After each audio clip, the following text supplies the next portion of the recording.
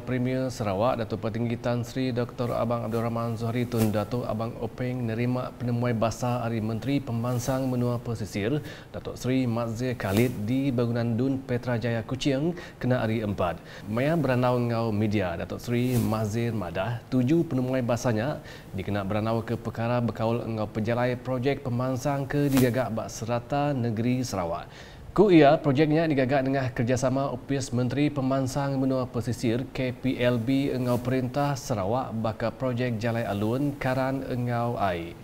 So yang Mak Buama Datuk Tinggi Premier juga uh, bersetuju supaya tim uh, teknikal daripada KPLB dan juga daripada kerajaan negeri dapat uh, kerap uh, berjumpa dan uh, specifically dalam uh, hal yang berkaitan dengan jalan uh, luar bandar, uh, bakalan elektrik luar bandar dan juga bakalan air. Kita ada uh, certain project yang uh, sedang dilaksanakan di Negeri Sarawak dan ada yang dipanggil pra pelaksanaan yang belum dilaksanakan dan at the same time kerajaan negeri pun ada projek pasarana yang mereka di atas bajet negeri yang jalan. Jadi maknanya kalau kita ada coordination, we know already mana satu yang negeri, mana satu yang bawah dan bawah bandar.